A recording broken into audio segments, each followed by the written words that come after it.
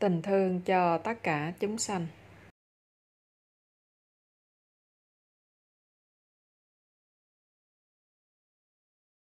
Buổi hội nghị truyền hình với trung tâm Indiana, Hoa Kỳ ngày 1 tháng 9 năm 2002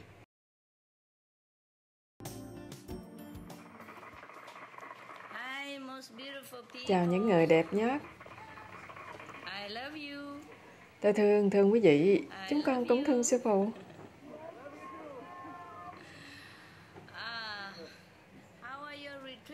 Sao? Bế quan thế nào? Tốt ạ. À. Nhiều trung tâm tụ họp lại với nhau tốt quá hả? Dạ.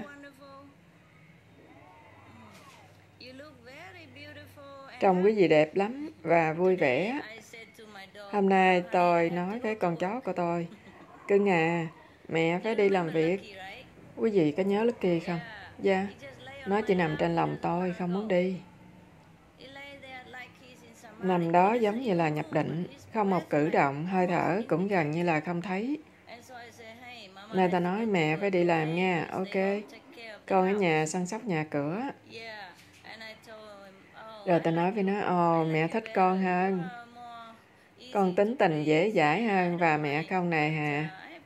Nhưng mẹ phải đi làm việc với người. Rồi ta nghĩ, ôi không được, vậy là không công bình, không công bình. Mẹ cũng thương loài người nhiều lắm. Ta nói với nó như vậy. Và ta nghĩ ta nói với nó, tôi là người rất may mắn. Vì tôi được cả người lẫn thú vật thương. Ta nói với nó, bao nhiêu người được như vậy, đúng không? Quý vị có nghe rõ không? Dạ, yeah. thấy quý vị yên lặng quá, tôi tưởng có lẽ... À, vì có người không thích có người không thích loài người lắm. Họ chỉ thích thú vật. Có người chỉ thương người mà không thương thú vật. Quý vị biết phải không? Dạ, tôi thương cả hai. Và thương cả thần thánh, thiên thần, thiên nhân. Tôi thương Thượng Đế nhất, đúng vậy. Tôi nghĩ tôi là người may mắn nhất, quý vị cũng vậy. Quý vị may mắn không? Dạ, vì chúng ta có cả hai thế giới.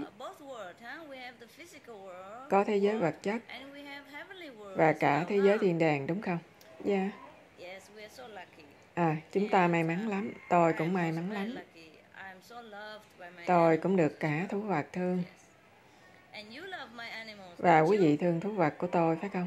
Dạ. Quý vị thương Lucky hả? Dạ. Nhưng quý vị không biết, nó cũng là chó. Quý vị biết chó nghĩa là gì không? Dạ. Chó nghĩa là gì? Thưa không ạ. Chó nghĩa là nó sủa không đúng lúc. Lắm lúc mình đang ngủ nửa đêm cũng phải dậy. Chó nghĩa là nó muốn ngủ với quý vị trên giường, muốn chiếm hết cái giường. Giường của tôi bây giờ là vì tự mua lấy nên tôi mua. Đó là chiếc giường chiếc, một người ngủ thôi. Tôi tưởng mình chỉ cần vậy thôi. Nó gần giống như cái salon nhưng tối thiểu ba con, à, ba đứa đều đòi ngủ trên đó. Tưởng tượng được không? Happy bây giờ nặng khoảng 40 cân anh vì nó mập ra.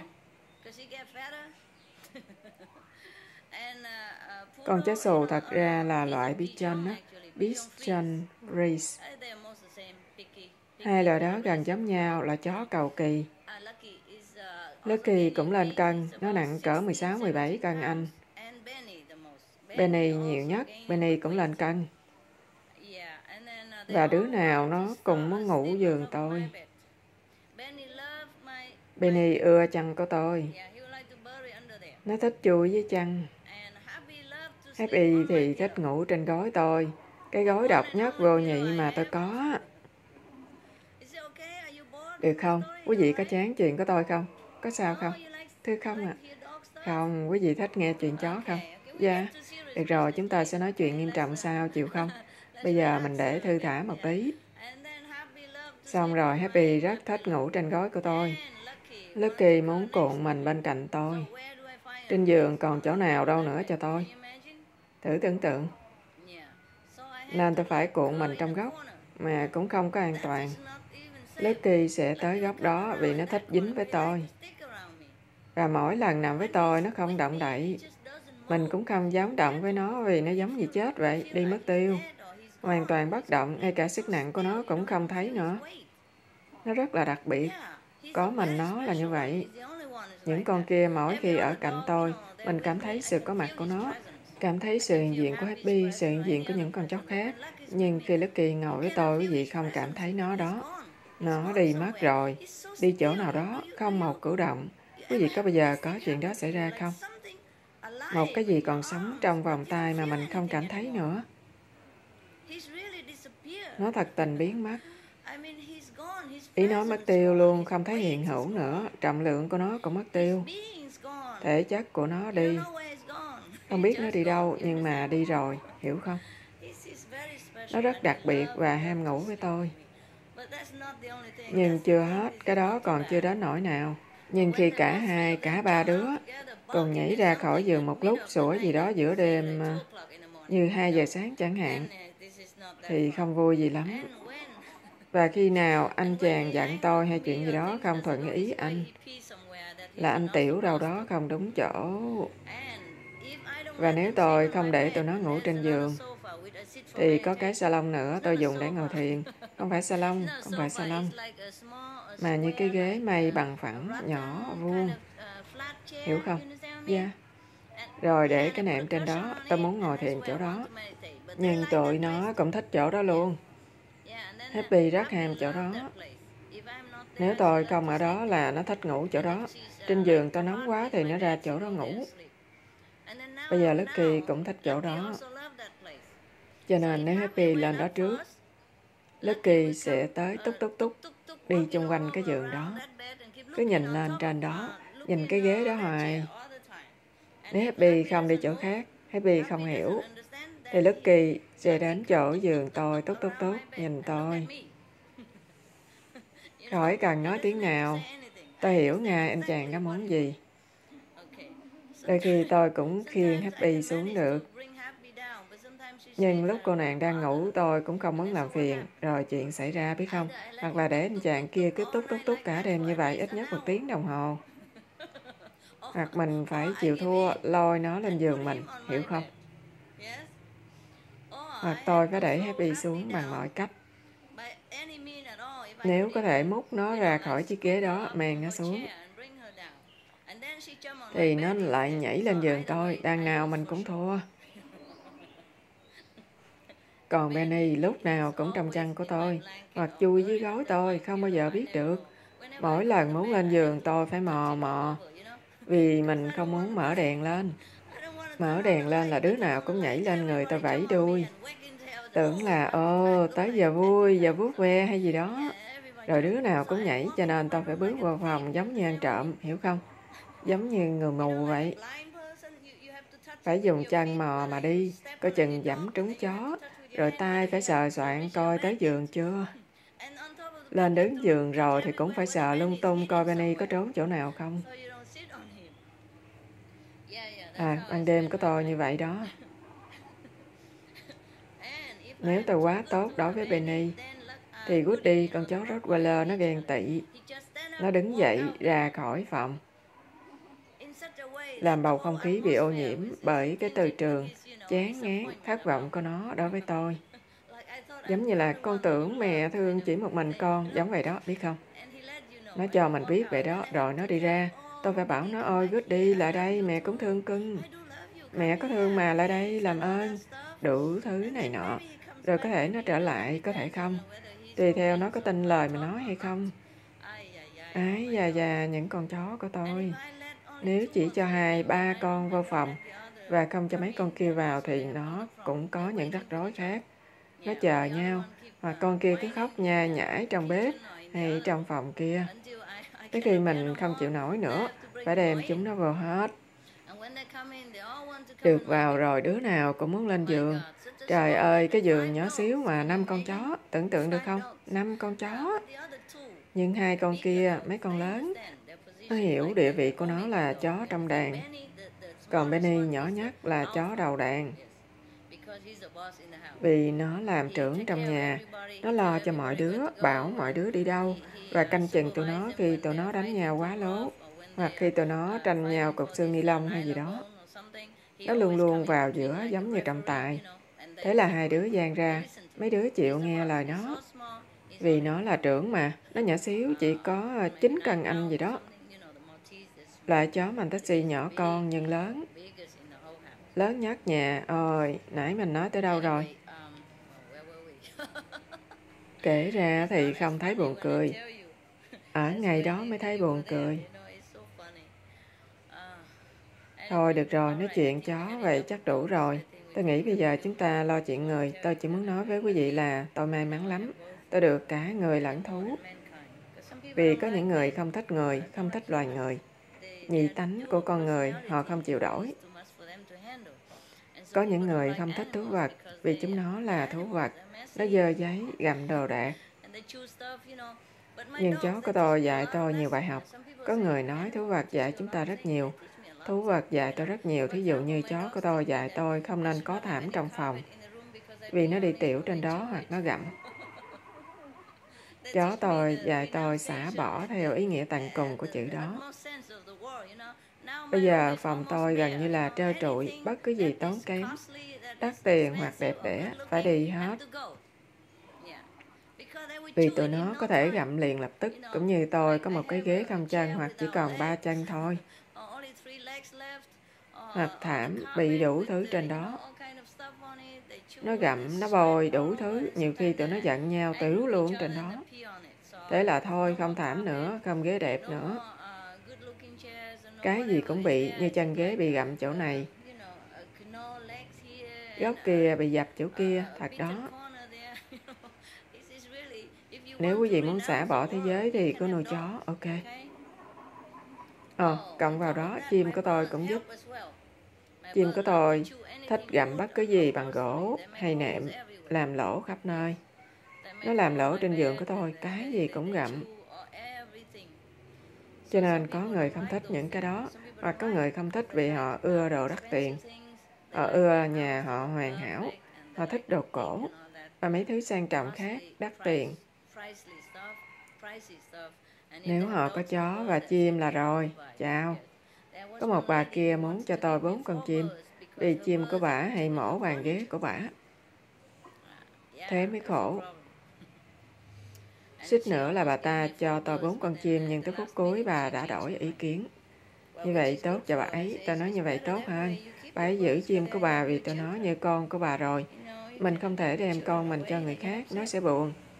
Bà nói nếu tôi cho chim của tôi, thỉnh thoảng tôi sẽ tới thăm chúng nó đi thăm và có lẽ nếu tôi nghĩ lại tôi có thể lấy tụi nó về tôi nói không được bà sẽ không có cơ hội như vậy đâu đa số những con chim tôi nuôi tụi nó thích tôi lắm.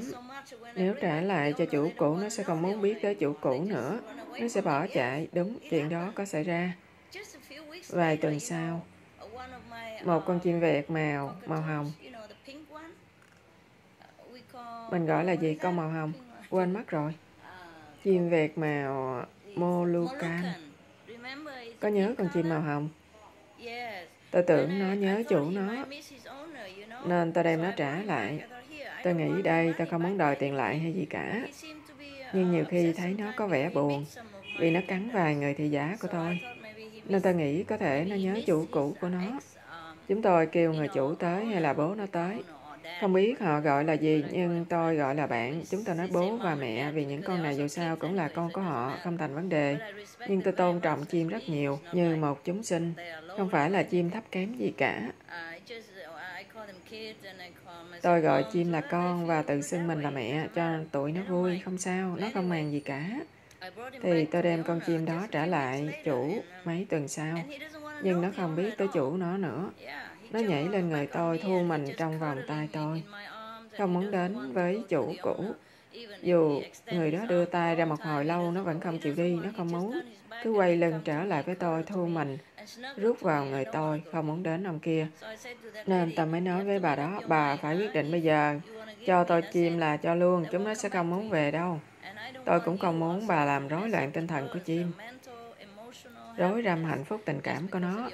Chỉ vì bà thay đổi ý kiến, muốn cho nó đi là cho nó đi, là đi luôn, không có đi qua đi lại, làm rối loạn tình cảm, hạnh phúc của nó lần nữa. vì phải mất rất lâu cho một con chim hay bất cứ chúng sinh nào, ngay cả con người, quen với môi trường mới. Bạn mới thích ứng với khí hậu và hoàn cảnh mới. Đủ thứ, đúng không? Dạ. Yeah. Và một khi tụi nó hạnh phúc với mình rồi, vì mình thương nó, săn sóc cho nó, nó thương mình, nó sẽ không muốn trở về đó nữa. Và nếu bà ta muốn đổi ý vì lý do riêng của bà và muốn lấy lại những con chim đó, có lẽ tôi sẽ không phản đối. Vì tôi không quyến luyến hay gì cả. Nhưng làm vậy không tốt cho tình cảm của chúng nó. Tôi nói với bà ấy như vậy và có lẽ vì vậy mà bà ta đổi ý. Cũng tốt, tôi nói như vậy tốt. Chúng nó đã ở với bà 10 năm rồi, chúng nó nên tiếp tục ở cùng nhà đó, cùng với người đó, cùng môi trường đó. Tốt hơn cho nó. Mang qua mang lại không ai thích hết. Chúng ta phải tôn trọng nó. Nhu cầu về tinh thần, tâm linh và tình cảm của nó, đúng không? Dạ đúng. Cho nên khi nào có ai muốn cho tôi chim hay gì đó, tôi phải nói cho họ biết như vậy. Vì đa số người không biết rằng loài chim cũng có tình cảm, cũng có trí khôn, cũng có trí huệ.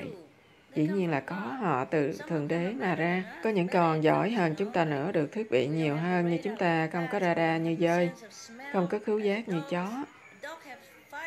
Chó có khả năng ngửi nhiều hơn chúng ta gấp 500 lần hoặc hơn. Nó ngửi thấy những cái mà chúng ta không hề biết. Ví dụ vậy, hoặc là tai chó thánh hơn, thính hơn của chúng ta và nhiều cái khác. Ngay cả mũi, thính giác của mũi tốt hơn chúng ta nhiều lắm. Thành ra, muốn tránh mũi, chúng ta không cần giết, không cần xịt thuốc gì cả, chỉ việc mua mấy đồ như là đồ tránh mũi ngoài tiệm Cắm điện vô là nó phát ra một loại âm thanh. Mình không nghe thấy, mà mũi nghe thấy. Nó sẽ không lại gần vì không chịu nổi âm thanh đó. Âm thanh đó có chấn động cao, nên chúng ta không nghe được, hiểu không? Yeah. Thành ra không phải là chúng ta hơn gì thú vật. Chúng ta hơn một cách khác và thú vật hơn một cách khác. Vì thú vật là thú vật, Thượng Đế ban cho thú vật dụng cụ đơn giản để sống như nó đang sống. Cho nên, Ngài không cho thú vật những cái Ngài cho chúng ta.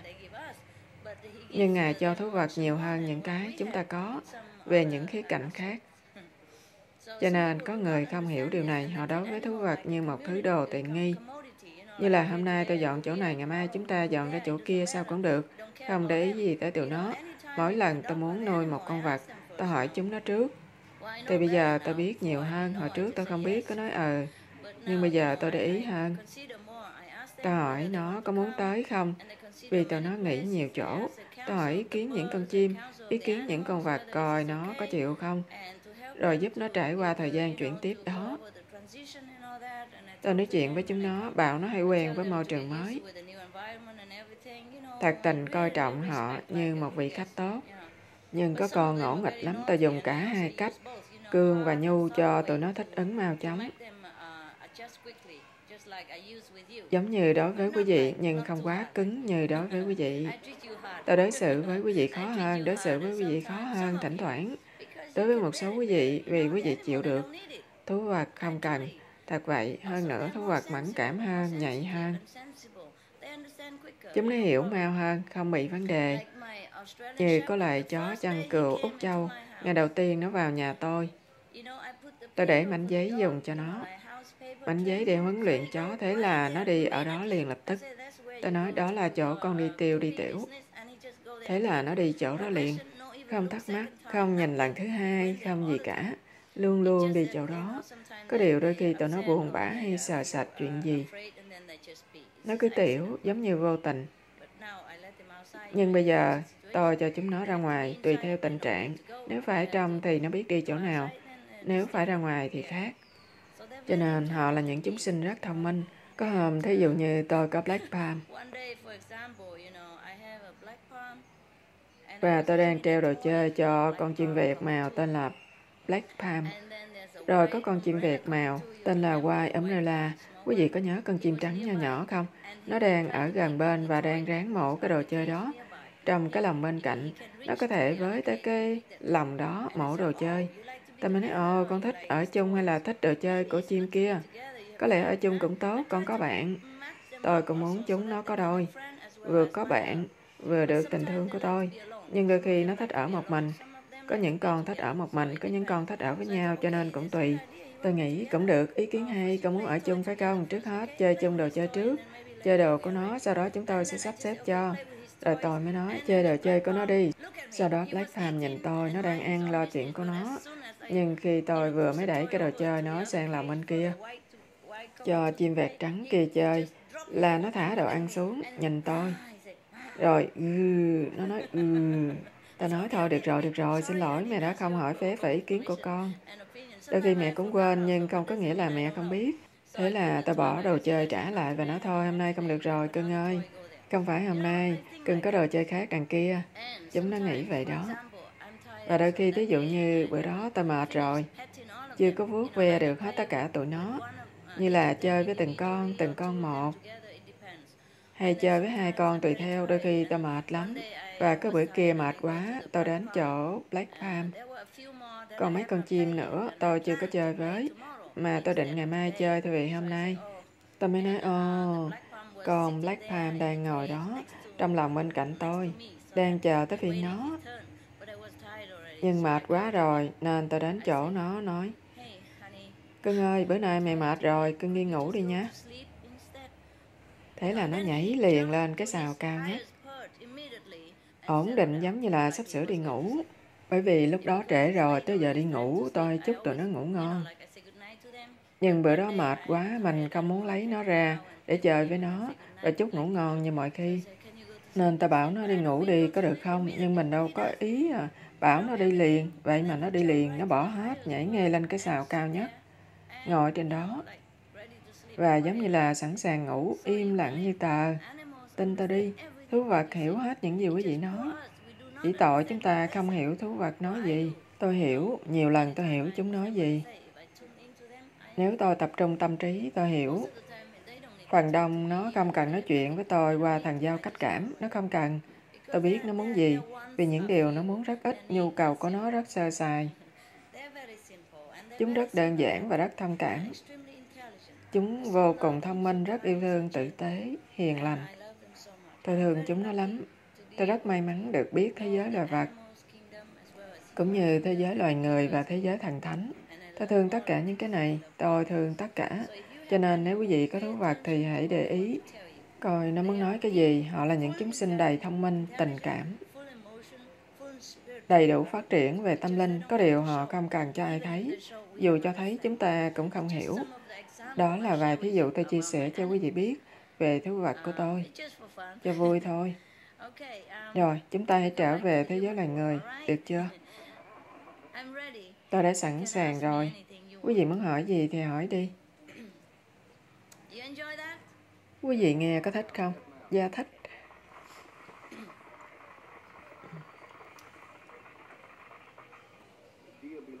Sư phụ kính yêu, trước khi hỏi, chúng con xin nói cảm ơn sư phụ trước.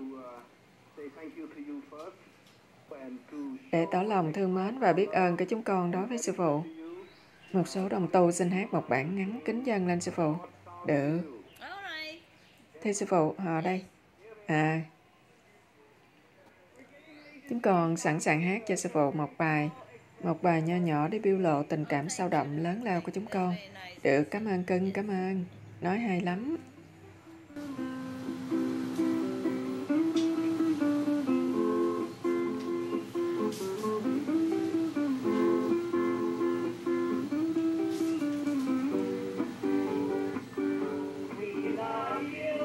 con thương sư phụ vâng chúng con thương ờ hay quá Oh, nice. chúng con không thương ai hơn thương ngài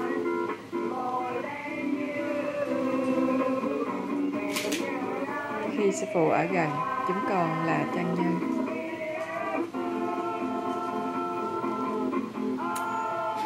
sư phụ ơi chúng con thương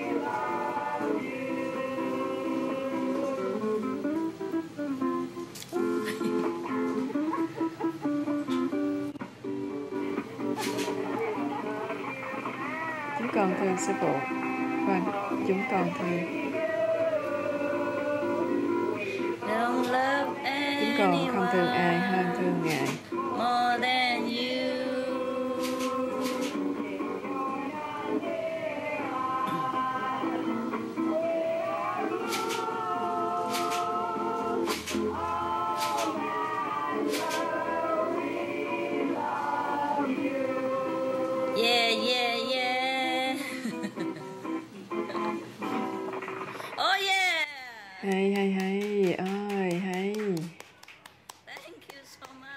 Cảm ơn quý vị nhiều lắm. Bài hát hay.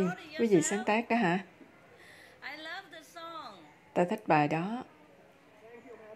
Cảm ơn sư phụ. Cảm ơn sư phụ. Người nào tự viết lấy hả? Chúng con không biết. Chúng con mượn của người ta. Bài này hơi cũ. Bài cũ rồi quý vị sửa lời phải không? Dạ. Beautiful. Ok, hay lắm. Sư phụ giúp gì đây? Câu hỏi của con là về bệnh thể xác và đau đớn về thể xác. Những cái đó là nghiệp chướng hay bài khảo, bài học mà mình phải đi qua. Nghiệp chướng, cưng ơi. Đó là nghiệp chướng nhưng chúng ta có thể giảm nó. Có thể giảm bớt nó bất cứ lúc nào. Thứ nhất, tu hành. Mỗi ngày tiếp xúc với lực lượng chữa bệnh của mình. Thứ hai, giữ lối sống lành mạnh. Thứ ba, luôn luôn vui vẻ. Chuyện gì xảy ra cũng nhìn vào khía cạnh lạc quan. Thứ tư, cầu nguyện và thiền hành mỗi ngày, nhiều nữa, để củng cố con người vật chất, tình cảm, tinh thần và tâm linh của mình, hiểu không? Anh phải sống một cách khỏe mạnh. Và ăn chay là lối ăn uống khỏe mạnh nhất. Nó sẽ giúp. Cảm ơn sư phụ. Không có chi, người kế.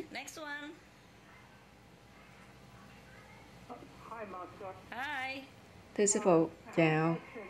Con có một câu hỏi. Ở sở con dùng đầu óc nhiều lắm.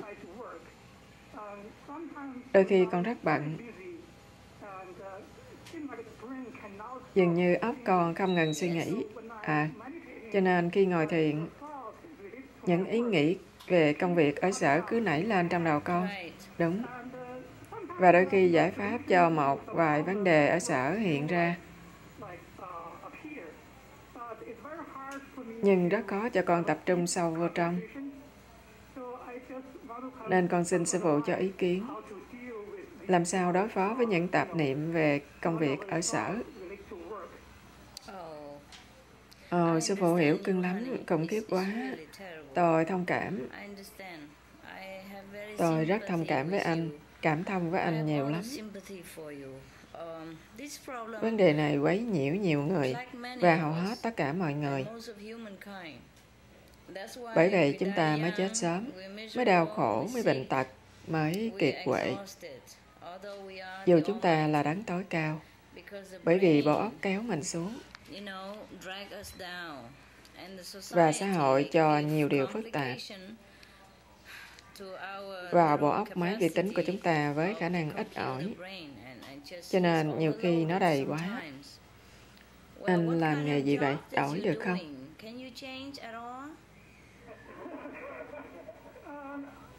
Con cũng đang nghĩ chuyện đó. Con không biết có nên đổi hay không. Con làm nghề phân tích lợi tức, như là phân tích nhiều dữ kiện và lập tường trình. Vậy anh đổi nghề được không? Làm việc khác được không? Như vậy có đỡ không? Có dễ không? Con có thể kiếm việc khác, dạ. Yeah. Có thể anh đi kiếm việc nào giản dị hơn để có tiền sống mà không phải suy nghĩ nhiều quá. Dạ. Yeah. Làm được không? uh, uh, Ý nói chịu khiêm nhường, sống một đời sống thiếu thanh thế.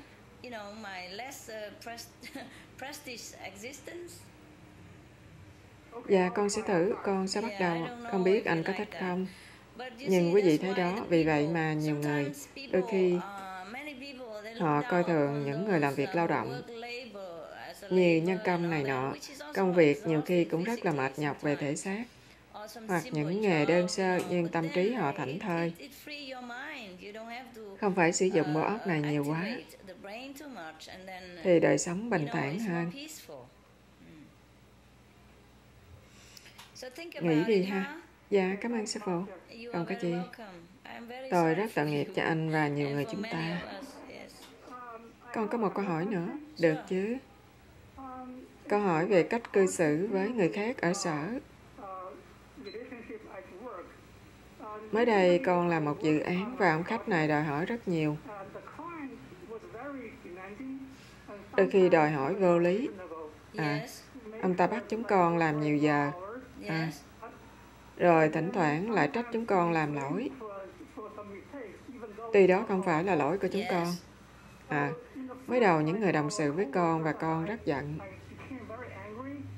Có khi nói xấu về người đó.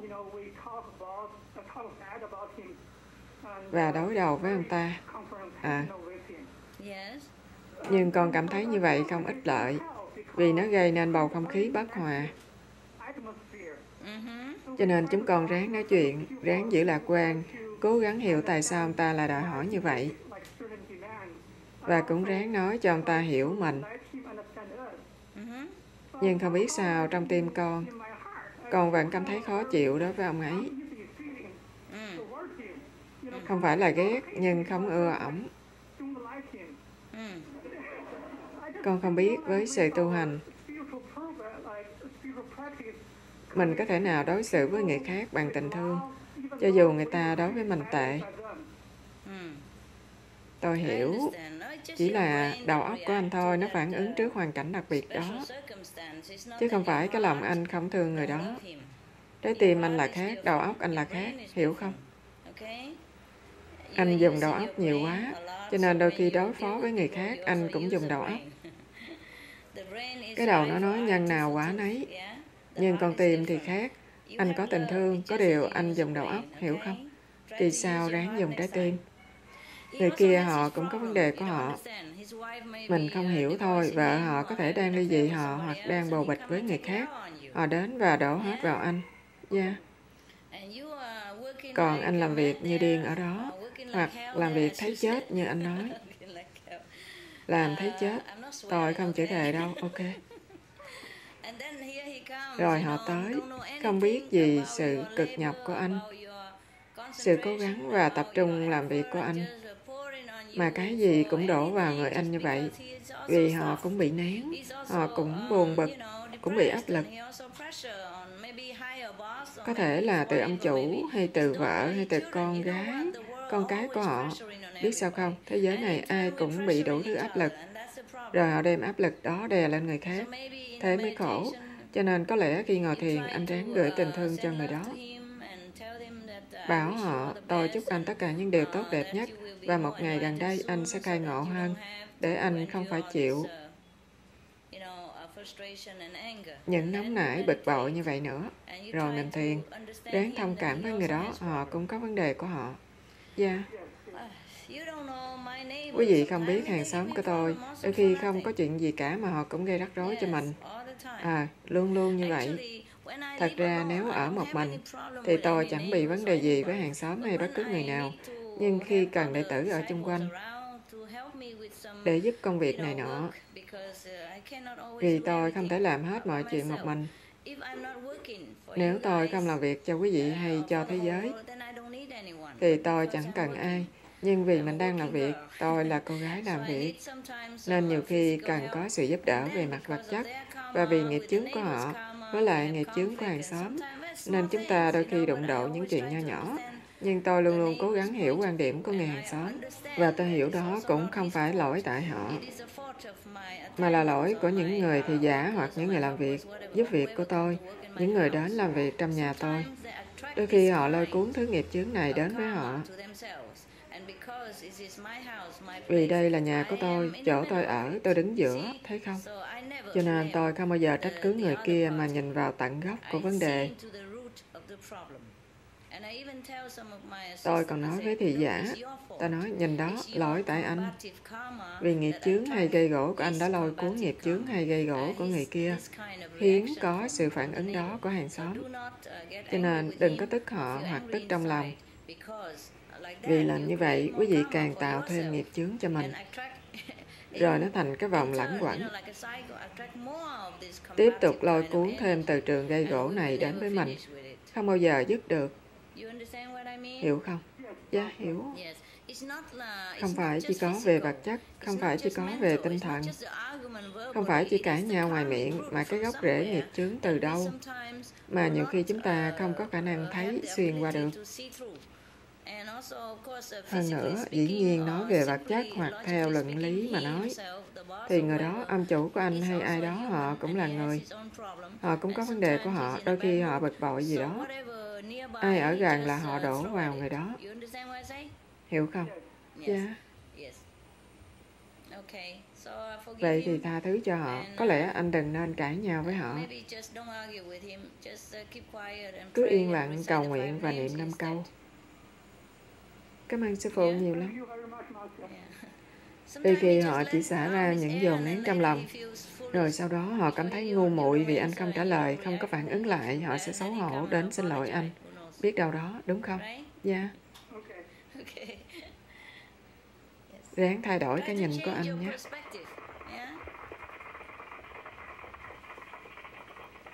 Đúng vậy, vấn đề này chắc chắn làm công việc của anh càng nhiều áp lực. Hãy ráng đổi cách suy nghĩ. Thay vì đổi việc hay đổi người, thử coi. Nhưng không biết được, đôi khi mình có nghiệp tốt với người đó, đôi khi không. Mình cứ phải ráng cho tới khi nào vừa thì thôi nhé. Đúng, người kế. Chào sư tỷ. Ok sư tỷ. Kính chào sư phụ. Chào, con tới từ tiểu bang Tennessee. Chúng con không có trung tâm tu hành ở Tennessee. À, con đi cộng tu ở Indiana và Kentucky.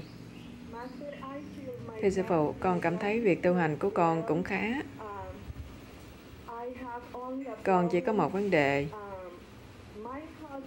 Chồng con than phiền chuyện con ngồi thiền buổi tối.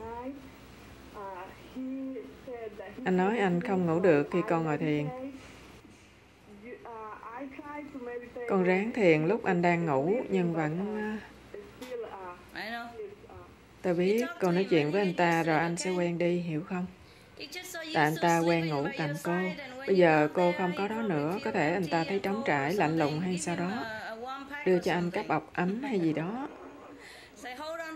Bảo anh ta ôm cái này trong khi em đi thiền một tiếng đồng hồ hay gì đó rồi em sẽ trở lại ngay. Em thương anh. Ok. Đưa cho anh ta cái gối ôm, bỏ cái bọc ấm trong đó. Bảo anh chàng, đây, anh ôm cái này. Mi ở một cái rồi nói ôm cái này. Em đi một chập rồi em sẽ trở lại. Nói anh ta, cô đang căng thẳng nói cô cần xả hơi bằng một vài phương pháp nghỉ ngơi, thiền để lấy lại sức mạnh để phục vụ ổng, gia đình và làm việc. Nói anh ta là cô cần thiền dữ lắm. Cô chỉ là một người đàn bà, yếu đuối hơn ổng. Nói là cô cần lúc này để mà phục hồi sức khỏe. Để còn tiếp tục thương yêu ổng, phục vụ cho ổng và làm việc. Nói vậy nha. Dạ, yeah, cảm ơn sư phụ. Nhưng trước khi đi, phải cho anh ta biết cô thương ảnh. Mỗi tối nói cho anh ta biết cô thương ảnh nhiều lắm, và cô phải làm cái này.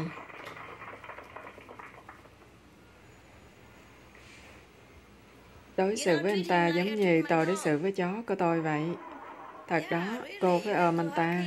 Tôi phải ôm chó của tôi mỗi tối, chúc nó ngủ ngon này nọ, rồi mới bỏ đi. Mỗi con khoảng nằm 10 phút cà kê trên giường tôi. Muốn làm gì thì làm, sau đó chúng ổn định đi ngủ. Tôi nói thường chúng nó, và mỗi lần ra khỏi nhà tôi nói lo nhà cửa, mẹ sẽ về ngay. Mẹ thương cưng lắm nhưng mẹ phải đi làm.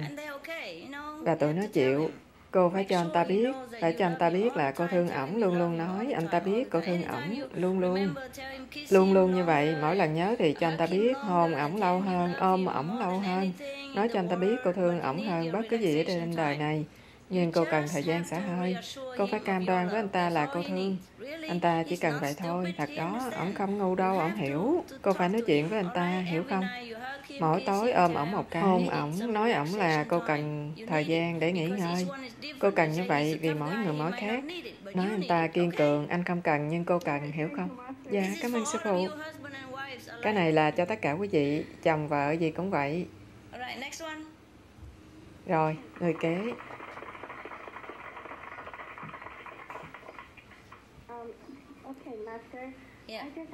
Thưa sư phụ, con mới sinh em bé hồi năm ngoái và con đang học làm mẹ.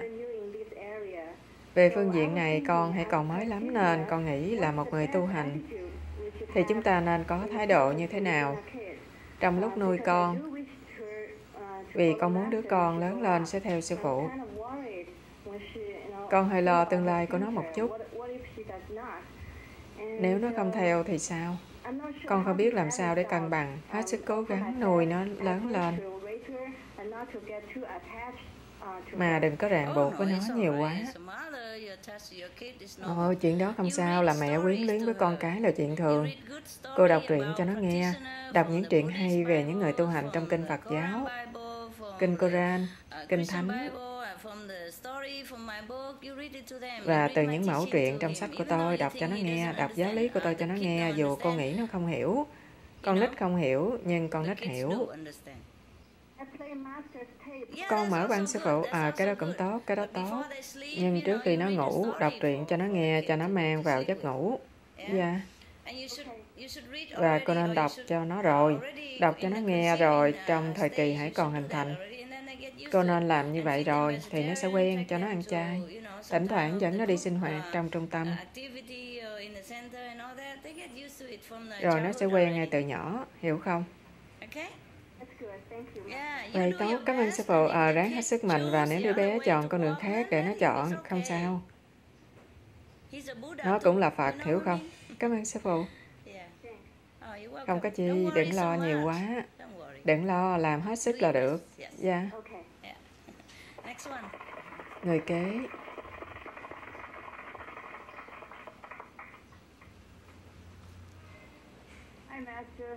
Kính chào sư phụ. Chào.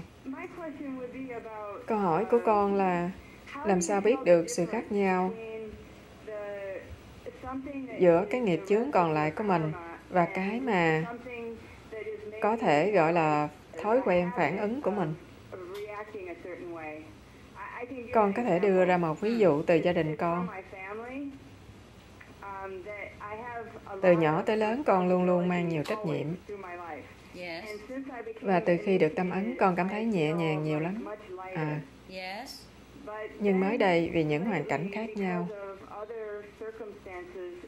hình như càng lúc họ càng muốn sự giúp đỡ của con. Cho nên con tự hỏi, nhất là sự giúp đỡ đó thuộc về vật chất, như là lo việc giấy tờ, giúp đỡ về thể xác.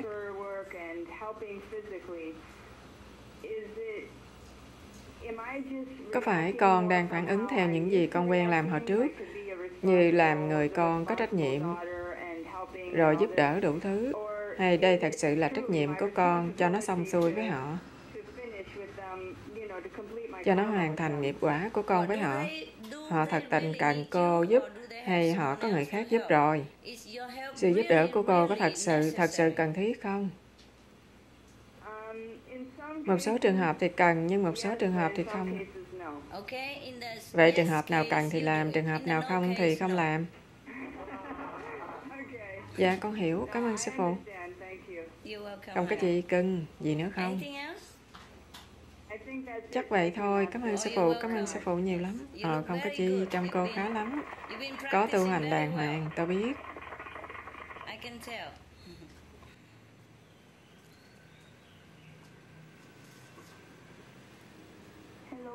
Thưa sư phụ, hello. Sư phụ đẹp quá, con thương sư phụ. Cảm ơn cô, tôi cũng thương cô. Con biết ở cảnh giới thứ ba không có nghiệp chướng. Còn phước báo thì sao? Trên cảnh giới thứ ba cũng không tạo phước báo được, phải không ạ? À? Những người có phước báo tốt, họ đi cảnh giới thứ ba. Nhưng không có chuyện vai trả trên đó nữa. hiểu không? Sau khi xài hết phước báo của họ, họ phải trở lại đây. Vạn vật trong tam giới thứ nhất, thứ hai và thứ ba đều tàn lụi.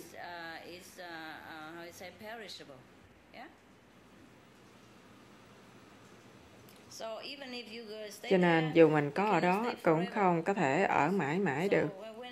Cho nên khi còn thế giới loài người, chúng ta nên thiền hành cho tốt để mà câu thông với minh sư bên ngoài và minh sư bên trong.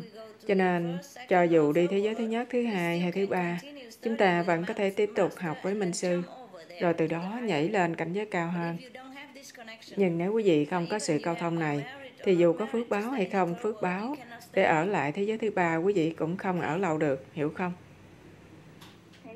Cảm ơn sư phụ, không có chi. Khi chúng ta lên đến quê hương của Minh Sư, có phải chúng ta sẽ phát triển hoặc có cùng phẩm tính bên trong giống như sư phụ? Như là tình thương và trí huệ vô bờ. Chắc chắn là có, dĩ nhiên quý vị sẽ có cùng phẩm tính. Cùng nhưng mà khác, giống nhưng mà khác.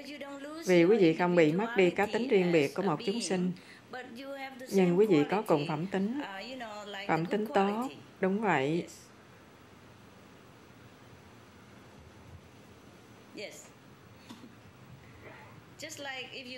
Giống như quý vị tốt nghiệp đại học, uh, quý vị có uh, cùng khả năng. Nhưng mỗi học sinh mỗi khác, dĩ nhiên. Và quý vị sẽ chọn làm những việc khác nhau, theo cách mình muốn, nhưng quý vị có khả năng giống nhau. Hiểu không? Cảm ơn sư phụ. Không có gì. Con có một câu hỏi nữa. Con biết linh hồn chúng ta là bất diệt. Nhưng có những trường hợp, trường hợp đặc biệt nào mà một linh hồn mới được sinh ra hoặc số linh hồn đã có nhất định từ thời khai thiên lập địa, từ thời nguyên thủy. Đa số linh hồn là cũ, đã sinh ra rồi. Nhưng thỉnh thoảng có một số linh hồn mới đến.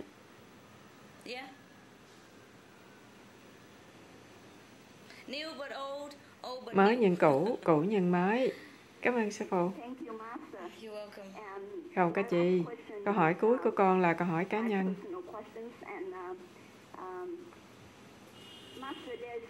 Thưa sư phụ, có những lúc con cảm thấy áp lực kinh khủng bên trong. Con nghĩ đó có thể từ tình thương, lòng thương.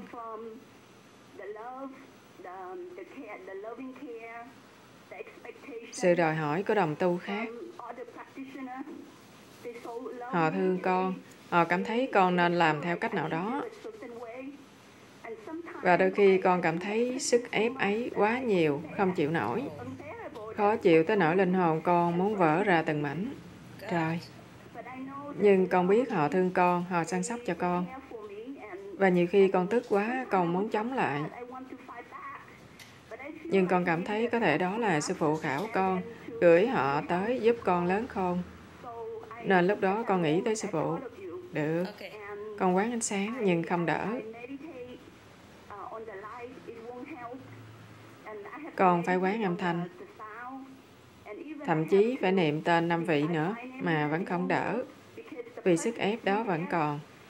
Cuối cùng con phải thiền âm thanh với danh hiệu của sư phụ. Khoảng 10-15 phút thì sức ép đó mới bớt dần. Nhưng con nhận thấy nó truyền sang sư phụ. Không sao.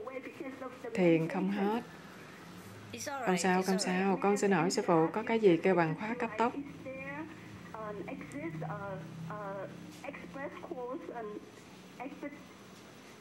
khóa học ngắn trong pháp môn hóa âm cho mình học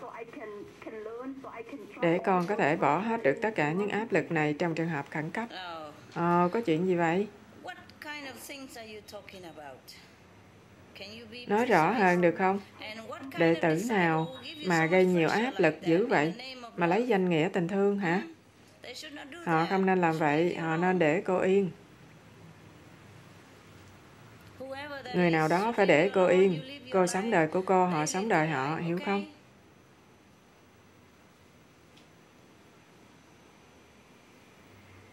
Cảm ơn sư phụ. Cô nói với người đó, người làm cô bị áp lực, nói với họ, bảo họ rằng có lẽ cách cô làm không hợp ý của ông ta. Nhưng mỗi người hành động một cách khác nhau và cô có quyền làm như vậy. Như vậy mỗi chúng ta mới cá biệt. Không ai có quyền xen vào đời sống của cô. Miễn sao cô không có phạm giới, miễn sao cô có cộng tu, có tuân theo lời dạy của sư phụ, không ai có quan hệ gì tới đời sống của cô và làm rối loạn tình cảm của cô. Cô hãy tránh xa người nào đó về phương diện tình cảm. Hiểu không? Dạ. Yeah. Trời ơi là trời, người nào đó tôi khuyên họ hãy để cô yên. Trời ơi, dạ thưa sư phụ mới đầu con nghĩ con tức về chuyện đó. Nhưng con biết vì họ lo lắng cho con như một người em, nên họ rất muốn đòi hỏi con phải làm như thế nào đó. Không được, họ không cần lo lắng cho cô, tôi lo cho cô, vậy đủ rồi. Bảo ông ta tránh ra. Vâng ạ. Làm rối loạn đời sống của người khác không phải công việc của một người tu hành. Cảm ơn sư phụ, con thương sư phụ. Không có chi. Họ lo cho đời họ, lo cách cư xử của họ cũng đủ rồi. Mỗi người làm theo đường lối của riêng họ, hãy để cho người khác yên thân, hiểu chưa? Thôi cưng, đừng lo chuyện đó. Bảo họ để cho cưng yên thân. Ok, ta nói vậy. Cảm ơn sư phụ. Không có chị Trời ơi, làm cưng lo sợ vậy đó. Đâu phải là giúp tình thương gì mà kỳ vậy, đó là chiếm hữu. Một sự chiếm hữu ràng buộc không phải tình thương. Hiểu không? Đúng như thế. Người nào đó hy vọng hiểu những gì ta nói. Nếu không, cô nói cho họ biết. Rồi, người kế. Cảm ơn sư phụ. Không có chi.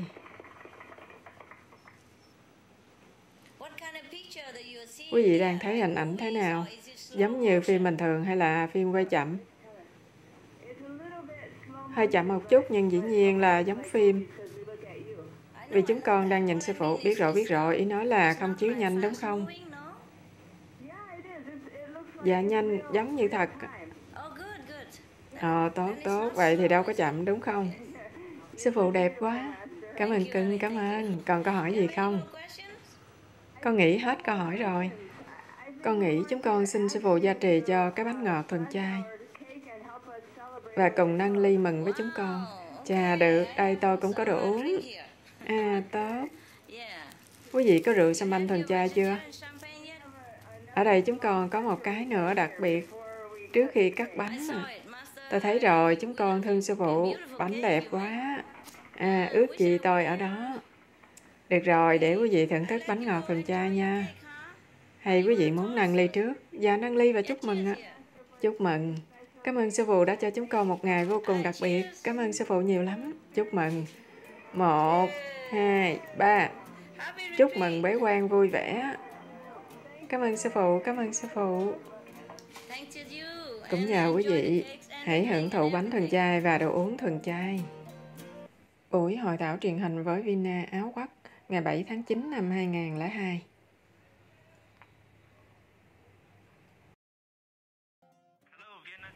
Chào Trung tâm Vina. Trung tâm Vina. Kính chào Trung tâm Vina và các anh chị em đồng tu từ tỉnh Munich, Đức Quốc và tỉnh Budapest. Hưng Gia Lợi đã gia nhập Trung tâm Vina vào dịp vui tuyệt vời này.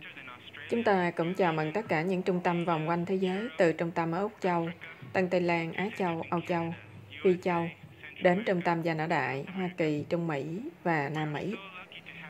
Chúng ta vô cùng may mắn có một vị thầy tuyệt vời và từ bi. Lòng tử tế thương yêu vĩ đại của Ngài đã khiến chúng ta có thể tụ họp với nhau qua mạng lưới truyền thông. Nhờ vậy, anh chị em đồng tu khắp nơi trên thế giới mới có cơ hội nghe những lời giảng dạy khai ngộ, đầy chân lý và lợi ích của một vị chân sư khai ngộ. Chúng ta hy vọng mọi người được hưởng những giây phút tuyệt trần và nhận được sự giá trị tối cao từ sư phụ kính yêu của chúng ta. Bây giờ chúng tôi xin mời mọi người hãy cùng nhau chào mừng một vị thương yêu nhất và vĩnh viễn đẹp. Ngài Thanh Hải Vô Thượng Sư, chúng ta hãy nhiệt liệt đón mừng Sư Phụ.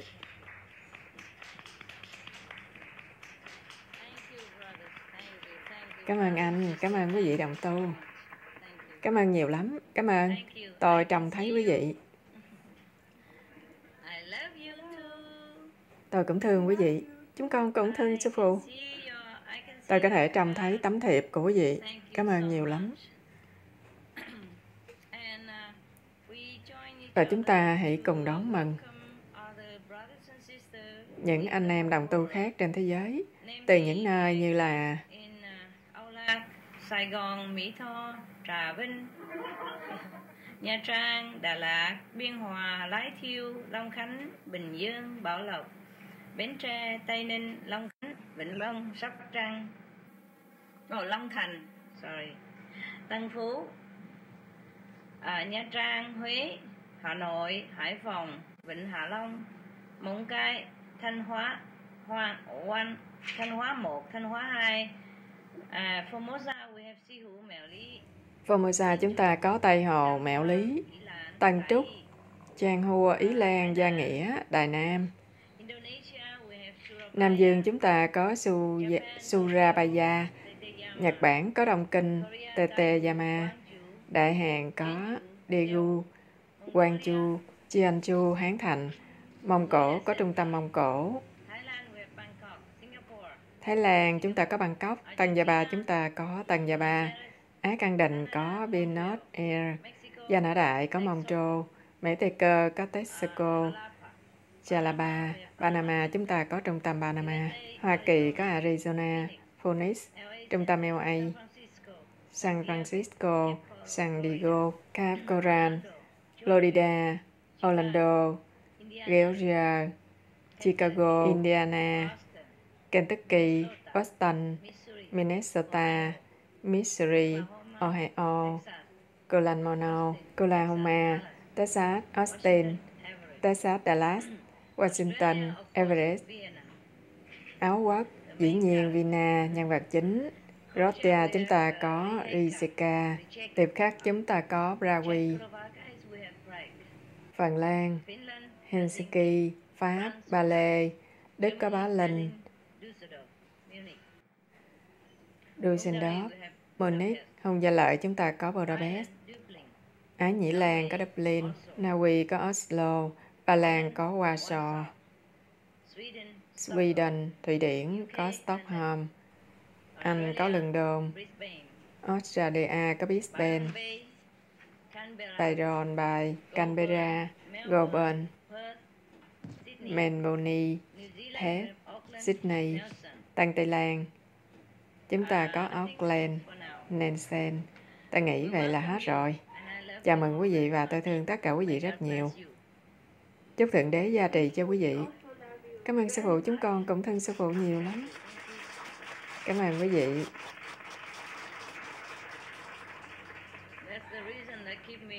Đó là lý do giữ tôi ở lại thế giới này. Tình thương của vị và tình thương của những con vật tôi nuôi trong nhà. Bữa nay chúng ta có gì để thảo luận không? Trước hết, chúng con xin báo cáo cho sư phụ biết chúng con bây giờ đã có trung tâm mới. Chà, chúc mừng cho quý vị. Cảm ơn sư phụ, chỗ này cảnh đẹp, thiên nhiên và thanh tịnh. Chào Chà, quý vị chắc là giàu, quý vị giàu lắm, phải không? Thưa không đắt gì lắm ạ. Chà, may mắn, may mắn. Dạ, đó là một căn nhà nhỏ có vườn rộng. Rộng bao nhiêu? Ờ, có vườn, vậy tốt, tốt. Thậm chí còn có suối nhỏ nữa ạ. Đằng sau? Dạ, có con suối gần đó. Ôi chào, nghe thấy đẹp quá, rất là lý tưởng. Chúng con vô cùng đội ơn. Tôi rất vui cho quý vị. Chúng con hy vọng chúng con có thể dùng món quà này để cùng nhau trưởng thành và tu hành tinh tấn, sống trong tình thương và yên vui và trở thành những công dân tốt ở tinh cầu này. Chà, được vậy thì tốt, tốt lắm, tốt lắm. Mục đích của quý vị rất vĩ đại. Lý tưởng của quý vị cao đẹp, ta hãnh diện với quý vị. Chúng ta nên sống như vậy mỗi ngày. Và chúng ta nên nghĩ như vậy mỗi ngày. Và đó là cách chúng ta nên làm mỗi ngày. Hôm nay tôi có thể làm gì cho quý vị? Câu hỏi gì không? Còn gì nữa? Chúng con có một số câu hỏi. Được. Chúng con bắt đầu với những người hỏi bằng tiếng Anh. À. Kính chào sư phụ. Chào tiếng Anh hay tiếng Đức cũng được. Dạ, con ráng nói bằng tiếng Anh.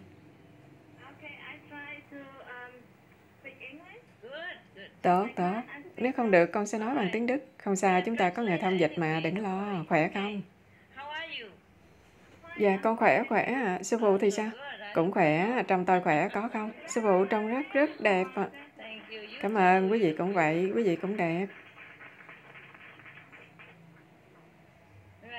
Đúng vậy, có chuyện gì cưng? Khi con nói chuyện với những người luyện thần thông, tính tình họ rất đanh thép ạ. À. à, con cảm thấy lạnh cống người. Chào ơi. Đôi khi nó làm con rung lên bên trong lẫn bên ngoài. À, xin sư phụ giải thích cho con tại sao là như vậy. Và làm sao để bảo vệ cho mình không bị như vậy nữa. Niệm danh năm vị. Nhớ như vậy và nhìn vào mắt trí huệ. Dạ. Yeah. Nhìn mắt trí huệ của họ. Mắt trí huệ không phải mắt của họ. Nếu cô không muốn, nếu không cảm thấy dễ chịu thì tiếp xúc với họ ít thôi. Con không tránh được, đó là chỗ con làm việc. À, vậy đó thì niệm danh năm vị trong tâm rồi cầu sự bảo vệ và cầu cho cô cảm thấy dễ chịu và làm cho người kia bớt đanh thép. Sao cô biết họ luyện thần thông? Sao biết? Không phải người luyện thần thông thôi, mà cả những người có tánh tình đanh thép. làm con rung mình bên trong và đôi khi bên ngoài con thấy lạnh quá, rất lạnh bên trong. Như là gì? Tính tình đanh thép là sao? Tả nghe coi. Cái gì làm cho cô như vậy? Chúng con chỉ nói chuyện thôi, đôi khi con nói gì sai, họ cười con.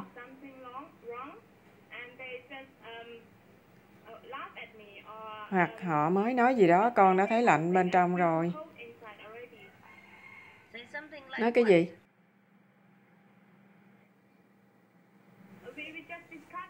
Chỉ bàn chuyện như vậy thôi.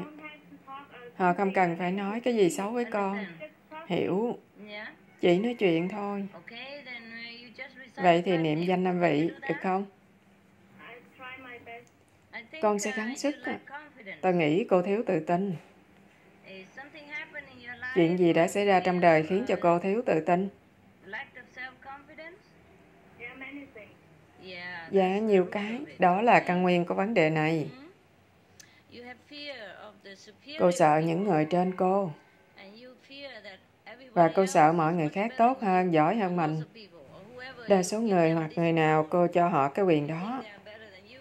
Cô nghĩ họ giỏi hơn cô và lấy sự cười của họ làm quan trọng.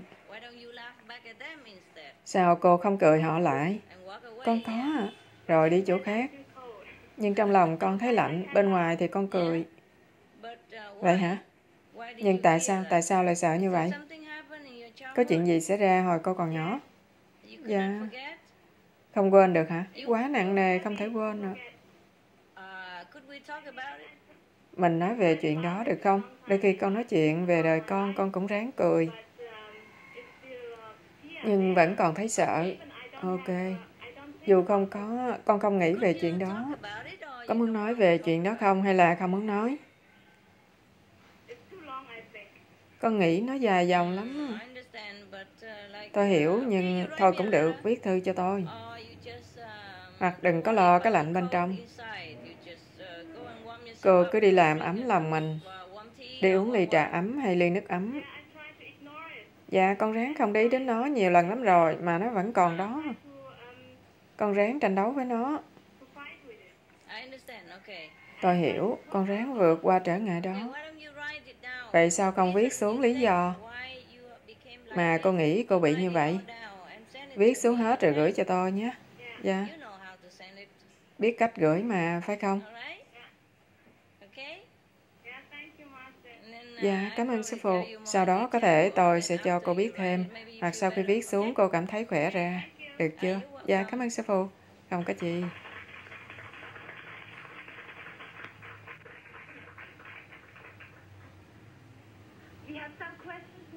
Bây giờ chúng con có những câu hỏi của đồng tu không biết tiếng Đức. Đây là dịch sang tiếng Anh. Không sao, gì cũng được. Con làm nghề y tá trong một bệnh viện cao niên. Trong viện gì? Ờ, Okay, okay. chỗ người cao niên ạ. Ok, người Oh, già. À, viện người già. Um, Nhưng bữa ăn phần chính là thịt và con phải đem phát cho những người trú ngụ ở đó và đôi khi đút cho họ ăn. Con cũng thay đồ cho họ và giúp họ tắm rửa. Cho nên lúc nào cũng tiếp xúc với họ về thể xác.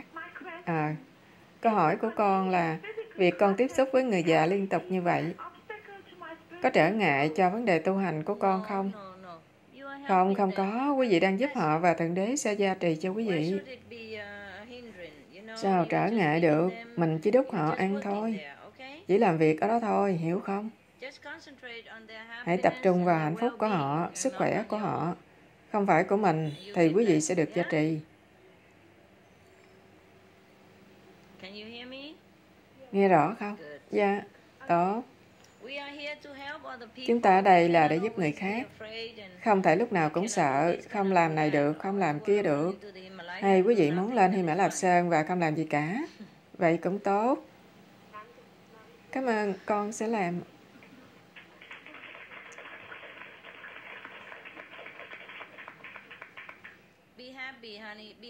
Hãy vui, cưng ơi, hãy vui. Hãy vui là mình còn giúp họ được. Và mình không phải như họ. Quý vị phải cảm ơn Thượng Đế cho mình phước báo đó và ráng hết sức mang lại hạnh phúc, niềm vui cho những người đáng kính già nua này. Họ là bậc cha mẹ, ông bà của quý vị. Hãy ráng hết sức thương yêu, tử tế với họ. Làm tròn bổn phận của mình và Thượng Đế sẽ gia trì cho mình. Luôn luôn niệm danh năm vị. Sẽ không bị gì cả. Không những không bị gì cả mà quý vị còn gia trì cho họ nữa. Hiểu không? Dạ. Người nào nữa? Thưa như vậy là hết rồi ạ. Chà. Từ em nhỏ này chúng ta có cậu bé này. Và em muốn hỏi sư phụ có khỏe không? Ồ, I'm sư phụ khỏe, khỏe cưng, cảm ơn. Đó là người Tàu hay, đó à. Cưng khỏe không? dear. Hả? Mất Muốn nói chuyện với sư phụ không? Đến máy vi âm đi.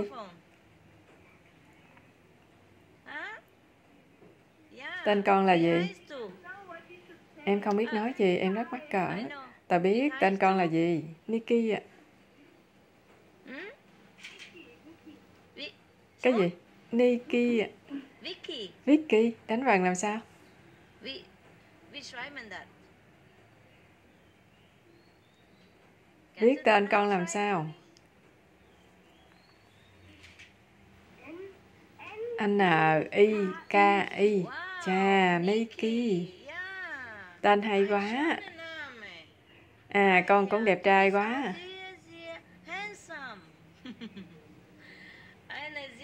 Một con búp bê tuyệt đẹp, phải không? Cậu bé xinh trai quá, phải không? Bây giờ mấy tuổi rồi? Dạ tám à. Tám tuổi rồi, chà, lại còn thiền giỏi nữa. Lại còn ăn chay, đủ thứ, con giỏi quá. À, sư phụ rất hãnh diện với con. Tao nói tiếng Đức còn được không? Hả? Dạ, hay lắm à. À, cảm ơn nhiều, nghe vậy tôi rất hài lòng có gì muốn hỏi gì nữa không? Thưa không ạ. Không sao. Không hả? Ok.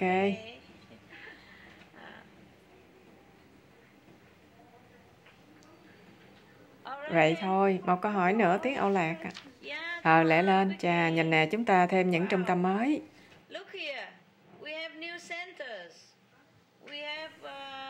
Chúng ta có Trung Quốc, có An Huy, Bắc Kinh, Phúc Kiến, An Huy, Beijing, Fujian, Gansu, Quảng Châu, Cam Túc, Quảng Châu, Hải Nam, Hà Bắc Hắc Long Giang, Hà Nam, Hồ Bắc, Hồ Nam, Giang Tây, Giang Tô, Cát Lâm, Liêu Ninh, Nội Mông Cổ, Ninh Hạ, Thanh Hải, Sơn Đông, Thượng Hải, Thiểm Tây, Tứ Xuyên, Vân Nam, Chiết Giang,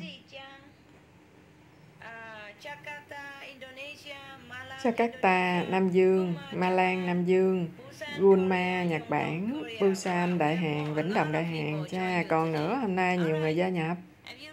Rồi, câu hỏi sẵn sàng chưa? Không cần câu hỏi, hết hả? Dạ, hết, hồi nãy là hiểu lầm. Được rồi, vậy thì tôi chúc quý vị mọi điều tốt lành. Và hẹn gặp quý vị trên mạng khi tôi gặp những trung tâm khác. Cảm ơn sư phụ nhiều lắm. Tôi cũng cảm ơn quý vị đã là người tốt, tốt, tốt và là đồng tu tốt. Quý vị mang sự gia trì đến quốc gia của quý vị và cho thế giới. Và dĩ nhiên cho tôi luôn. Tôi thương quý vị nhiều lắm. Tôi rất hãnh diện với quý vị. Rất hãnh diện. Tôi cũng thương quý vị. Hẹn kỳ sau. Cảm ơn quý vị tấm thiệp.